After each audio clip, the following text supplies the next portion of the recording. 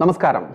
ഇക്കഴിഞ്ഞ നാളിലാണ് പിണറായി വിജയനും അതുപോലെ സ്പീക്കർ ശ്രീരാമകൃഷ്ണനും പിന്നെ മൂന്ന് മന്ത്രിമാരും അടക്കം സ്വർണ കള്ളക്കടത്ത് കേസിലും ഡോളർ കടത്ത് കേസിലും ഉൾപ്പെട്ടിട്ടുണ്ട് എന്നുള്ളത് കസ്റ്റംസ് കോടതിയിൽ സത്യവാങ്മൂലം നൽകിയത്.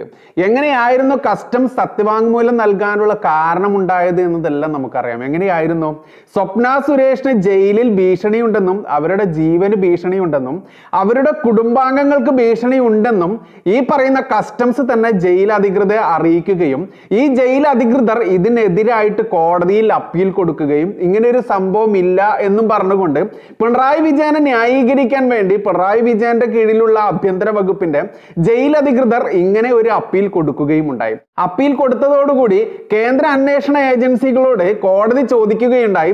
എന്തുകൊണ്ടാണ് ഇങ്ങനെ ഇവർക്ക് വധഭീഷണി ഉണ്ടെന്നും അതല്ലെങ്കിൽ ഇവരുടെ ജീവന് ഭീഷണി ഉണ്ടെന്നും ഇവരുടെ കുടുംബാംഗങ്ങൾക്ക് ഭീഷണി ഉണ്ടെന്നും നിങ്ങൾ അറിഞ്ഞത് എന്തുകൊണ്ടാണ്? എന്തുകൊണ്ടാണ് ഇങ്ങനെ ന്യായീകരിക്കാൻ കാരണം എന്ന് കോടതി ചോദിക്കുന്നു. അത്തരത്തിൽ കോടതി ചോദിക്കുന്നതോടു കൂടിയാണ് സ്വപ്ന സുരേഷ് നൽകിയിട്ടുള്ള വൺ സിക്സ്റ്റി ഫോർ മൊഴിയും വൺ സീറോ എയ്റ്റ് പ്രകാരമുള്ള മൊഴിയുടെയും അടക്കം സത്യവാങ്മൂലം അതല്ലെങ്കിൽ അതിന്റെ പകർപ്പടക്കം കോടതിയിൽ കേന്ദ്ര അന്വേഷണ ഏജൻസികൾ സമർപ്പിക്കുന്നത്. ഈ സമർപ്പിക്കുന്ന റിപ്പോർട്ടിൽ കൃത്യമായി അവർ പറഞ്ഞിരുന്നു.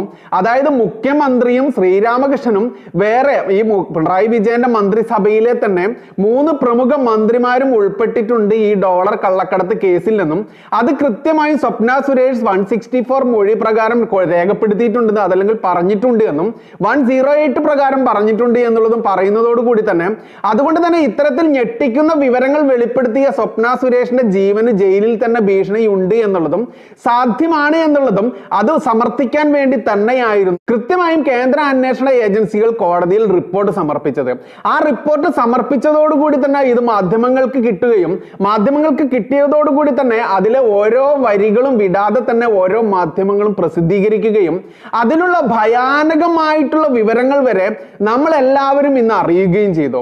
അത്തരത്തിൽ പിണറായി വിജയനും ശ്രീരാമകൃഷ്ണൻ എന്ന് പറയുന്ന സ്പീക്കറും മറ്റ് മൂന്ന് മന്ത്രിമാരും ഉൾപ്പെട്ടിട്ടുണ്ട് എന്നുള്ള അതിഗൗരവകരമായ ഞെട്ടിക്കുന്ന വാർത്ത പുറത്തു വന്നതോടുകൂടി തന്നെ ഈ നിയമസഭാ തിരഞ്ഞെടുപ്പ് അടുത്തിരിക്കുന്ന ഈ വേളയിൽ പിണറായി വിജയന് പിന്നെ ന്യായീകരണ ക്യാപ്സൂളുകൾ തികയാതെ വരികയും അതുകൊണ്ട് തന്നെ ഈ ന്യായീകരണ ക്യാപ്സൂളുകൾക്ക് ഫലം പകരാൻ വേണ്ടി ഇനിയും മറ്റെന്തെങ്കിലും ഉടായിപ്പുകൾ ഉണ്ടാക്കേണ്ടിയിരിക്കുന്നു എന്ന് പിണറായി വിജയൻ തോന്നുകയും അത്തരത്തിൽ തോന്നിയത് പ്രകാരം തന്നെയാണ് സിജി വിജയൻ എന്ന് പറയുന്ന ഒരു പോലീസുകാരിയുടെ മൊഴി ഇന്നലെ മുതൽ പുറത്തു വന്നിരിക്കുന്നത്. എന്താണ് സിജി വിജയൻ എന്ന് പറയുന്ന പോലീസുകാരുടെ മൊഴി?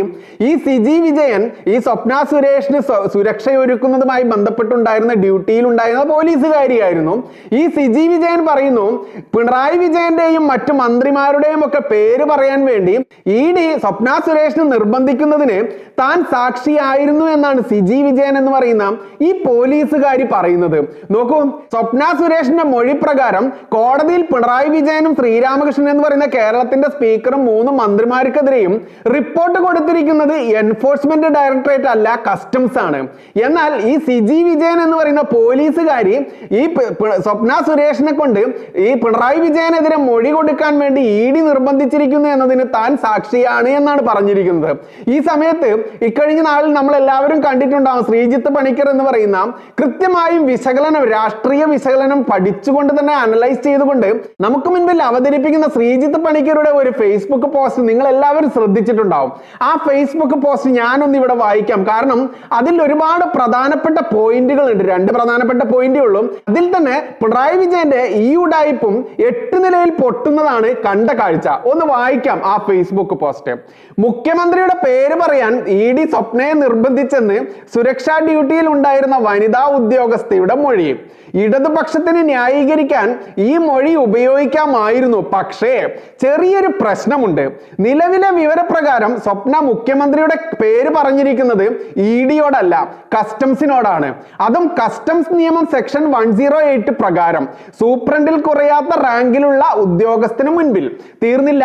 ഇതേ മൊഴി അവർ ആവർത്തിച്ചിരിക്കുന്നത് C R P C section നൂറ്റി അറുപത്തിനാല് പ്രകാരം ജുഡീഷ്യൽ മജിസ്ട്രേറ്റ് മുന്നിൽ രഹസ്യമായാണ്. അതായത് സുരക്ഷാ ഉദ്യോഗസ്ഥയുടെ മൊഴിയിൽ പിടിച്ച് സർക്കാരിനെ ന്യായീകരിക്കാൻ സ്കോപ്പില്ല നോക്കൂ എൻഫോഴ്സ്മെന്റ് ഡയറക്ടറേറ്റ് ആണ് സ്വപ്ന സുരേഷിനെ പിണറായി വിജയന്റെ പേര് പറയാൻ നിർബന്ധിച്ചത് എന്നതിന് താൻ ദൃക്സാക്ഷിയാണ്. താൻ നേരിട്ട് കേട്ടു നേരിട്ട് കണ്ടു എന്നൊക്കെ പറയുന്ന ഈ സി ജി വിജയൻ എന്ന് പറയുന്ന പോലീസുകാരി പച്ചക്കള്ളമാണ് പറയുന്നത് എന്നത് സമർത്ഥിക്കാൻ ഈ വാക്കുകൾ തന്നെ ധാരാളമാണ്. കാരണം എന്തെന്നറിയാമോ? ഒന്നാമത് സ്വപ്ന സുരേഷ് കൊടുത്തിരിക്കുന്ന മൊഴി വൺ സിക്സ്റ്റി ഫോർ മൊഴി പ്രകാരം ജഡ്ജിക്ക് മുൻപിലാണ് മജിസ്ട്രേറ്റിന് മുൻപിലാണ്. ആ മജിസ്ട്രേറ്റിന് മുൻപിൽ വൺ സിക്സ്റ്റി ഫോർ മൊഴി കൊടുക്കുന്ന സമയത്ത് പോലീസുകാരി പോയിട്ട് ഒരു വക്കീൽ പോലും ഉണ്ടാവില്ല എന്നുള്ളത് സാമാന്യ ബുദ്ധിയുള്ള എല്ലാവർക്കും അറിയുന്ന കാര്യമാണ്. അത്തരത്തിൽ വൺ സിക്സ്റ്റി ഫോർ മൊഴി കൊടുത്തിരിക്കുന്നത് മജിസ്ട്രേറ്റ് മുൻപിലാണ് എന്നുള്ളത് അറിയുന്നതിൽ തന്നെയുണ്ട്. ഈ സിജി വിജയൻ എന്ന് പറയുന്ന പോലീസുകാരിയുടെ പിണറായി വിജയന് വേണ്ടിയിട്ടുള്ള പുതിയ ഉടായ്പുമായിട്ടുള്ള രംഗപ്രവേശം എന്തിനാണ് എന്നുള്ളതെല്ലാം ഉണ്ട്. മറ്റൊന്നാണ് കസ്റ്റംസ് നിയമപ്രകാരം സെക്ഷൻ വൺ സീറോ എയ്റ്റ് പ്രകാരം സൂപ്രണ്ടിൽ കുറയാത്ത റാങ്കിലുള്ള ഉദ്യോഗസ്ഥന് മുന്നിൽ കൊടുത്ത മൊഴി. ആ സമയത്തും ഈ പറയുന്ന പോലീസുകാരി ഉണ്ടാവാൻ യാതൊരു സാധ്യതയും ഇല്ല എന്നുള്ളത് മറ്റൊരു യാഥാർത്ഥ്യമാണ്. ഇനി പോലീസുകാരി ഉണ്ടായി എന്ന് തന്നെ ഇരിക്കട്ടെ. എങ്കിലും ഇ ഡി അല്ല കോടതിയിൽ റിപ്പോർട്ട് കൊടുത്തിരിക്കുന്നത്. കോടതിയിൽ റിപ്പോർട്ട് കൊടുത്തിരിക്കുന്നത് കസ്റ്റംസ് ആണ്. ഈ പറയുന്ന പോലീസുകാരിക്ക് കസ്റ്റംസ് എന്തെന്നോ ഇ ഡി എന്തെന്നോ അറിയാത്ത പോലീസുകാരിയാണോ എന്നുള്ളത് വരെ ഇവിടെ സംശയിക്കേണ്ടി വരുന്നു. ഇവിടെയാണ് ദൈവത്തിന്റെ ഒരു തെളിവ് അതല്ലെങ്കിൽ ദൈവത്തിന്റെ ഒരു കൈ ഇത്തരത്തിൽ ക്രിമിനൽ ആക്ടിവിറ്റീസിലൊക്കെ നമുക്ക് കാണാം എന്നുള്ള ഒരു യാഥാർത്ഥ്യം കൂടി ഇവിടെ വെളിപ്പെടുന്നത്. നമുക്കറിയാം എന്തൊക്കെ ക്രിമിനൽ കുറ്റങ്ങൾ ആരൊക്കെ ചെയ്തു കഴിഞ്ഞാലും അതിന്റെ എല്ലാം മുൻപിൽ അതല്ലെങ്കിൽ അതിന്റെ എല്ലാം പിറകിൽ ഒരു ദൈവത്തിന്റെ തെളിവായിട്ടുള്ള ദൈവത്തിന്റെ കൈയായി എന്തെങ്കിലും ഒരു തെളിവ് അവശേഷിച്ചിട്ടുണ്ടാവും എന്നുള്ളത് നമ്മൾ എത്രയോ വർഷങ്ങൾക്ക് മുൻപേ നമ്മൾ ഓരോ കേസുകളും കാണുന്നതിലൂടെ നമ്മളെല്ലാം പഠിച്ചിട്ടുള്ള നമ്മളെല്ലാം അറിഞ്ഞിട്ടുള്ള ഒരു യാഥാർത്ഥ്യമാണ്. അത്തരത്തിൽ തന്നെ പിണറായി വിജയന് വേണ്ടി നാടകം കളിക്കാൻ വേണ്ടി ഇറങ്ങിയിരിക്കുന്ന സിജി വിജയൻ എന്ന് പറയുന്ന ഈ പോലീസുകാരി നമുക്ക് വേണ്ടി കാത്തു സൂക്ഷിച്ച തെളിവുകൾ തന്നെയാണ് ഇ ഡി ഭീഷണിപ്പെടുത്തുന്നത് താൻ കണ്ടെന്ന് പറയുന്നതും. എന്നാൽ കസ്റ്റംസ് ആണ് പിണറായി വിജയനെതിരെയും ശ്രീരാമകൃഷ്ണനെതിരെയും മൂന്ന് മന്ത്രിമാർക്കെതിരെയും കോടതിയിൽ കൃത്യമായ തെളിവടക്കം റിപ്പോർട്ട് കൊടുത്തിരിക്കുന്നത് എന്നതും അറിയുമ്പോൾ നമുക്ക് മനസ്സിലാക്കാനാവും ദൈവത്തിന്റെ കൈ എവിടെ പ്രവർത്തിച്ചു എന്നുള്ളത്. കാരണം ഇ ഡി എന്തെന്നും കസ്റ്റംസ് എന്തെന്നും ഈ പോലീസുകാരിക്ക് അറിയില്ല എന്നതാണ് യാഥാർത്ഥ്യം. ഈ കസ്റ്റംസ് ആണ് ഭീഷണിപ്പെടുത്തിയത് ഞാൻ കണ്ടു എന്ന് പറയുകയാണെങ്കിൽ പിന്നെയും ഉണ്ട് ഒരു രസം. എന്താണ്? ഇവിടെ ഇ ഡി ആണ് ഭീഷണിപ്പെടുത്തി സ്വപ്നയെ കൊണ്ട് പിണറായി വിജയന്റെയും മറ്റു മന്ത്രിമാരുടെയും ശ്രീരാമകൃഷ്ണന്റെയും അടക്കം പേര് പറയാൻ നിർബന്ധിച്ചു എന്നുള്ളത് താൻ കണ്ടു എന്നൊക്കെ ഈ പോലീസുകാരി പറയുന്നത്. അപ്പോൾ ഇതിൽ തന്നെയുണ്ട്. പിണറായി വിജയൻ കൃത്യമായി നിയോഗിച്ച ഒരു പോലീസുകാരി തന്നെയാണ് ഈ പറയുന്ന സിജി വിജയൻ എന്നുള്ളത്. നമുക്ക് വ്യക്തമാണ് പകൽ പോലെ വ്യക്തമാണ്. ഇതുകൊണ്ടൊക്കെ തന്നെയാണ് പിണറായി വിജയൻ വെറും ഒരു മണ്ടനാണെന്നും ഞാൻ പറയുന്നിടത്തെല്ലാം അയാൾ ഒപ്പിടുമെന്നും നമ്മുടെ ശിവശങ്കരേട്ടൻ പണ്ട് മൊഴി കൊടുത്തു എന്നുള്ള വാർത്തയൊക്കെ പുറത്തു വന്നത് നമ്മൾ ശ്രദ്ധിക്കേണ്ടത്. കാരണം എന്താ? ഇതൊന്നും ചിന്തിക്കാൻ ശേഷിയില്ലാത്ത ഒരു പൊട്ടനാണോ പിണറായി വിജയൻ എന്നുള്ളത് കൂടി നമ്മൾ ചിന്തിക്കേണ്ടി വരുന്നു. അപ്പോൾ പിണറായി വിജയനെ പറ്റി മരപ്പെട്ടൻ എന്ന ശിവശങ്കരൻ നടത്തിയ പ്രസ്താവനയും ഇതിനോട് കൂട്ടിച്ചേർത്ത് വായിക്കേണ്ട ഒന്നല്ലേ എന്ന് നമ്മൾ സംശയിക്കേണ്ടേ? യാഥാർത്ഥ്യമല്ലേ പറയുന്നത്? അതുകൊണ്ട് തന്നെ പിണറായി വിജയ നീ ഇനി എന്തൊക്കെ ഉഡായിപ്പുമായി എന്തൊക്കെ നുണക്കഥകളുമായി എന്തൊക്കെ കള്ളസാക്ഷികളുമായി മുന്നോട്ട് വന്നു കഴിഞ്ഞാലും നീ ഉണ്ട തിന്നുക തന്നെ ചെയ്യും പിണറായി വിജയൻ. കാരണം എന്തെന്നറിയാമോ? ആയിരക്കണക്കിന് അയ്യപ്പ ഭക്തരെ താൻ കള്ളക്കേസിൽ കുരുക്കി ജാമ്യമില്ലാതെ ജയിലിൽ അടച്ചിട്ടുണ്ട് പിണറായി വിജയൻ. അയ്യപ്പ സ്വാമിയുടെ ഭക്തരെ ജയിലിൽ അടച്ചിട്ടുണ്ടെങ്കിൽ അയ്യപ്പ സ്വാമി ഒരിക്കലും വെറുതെ ഇരിക്കില്ല പിണറായി വിജയൻ.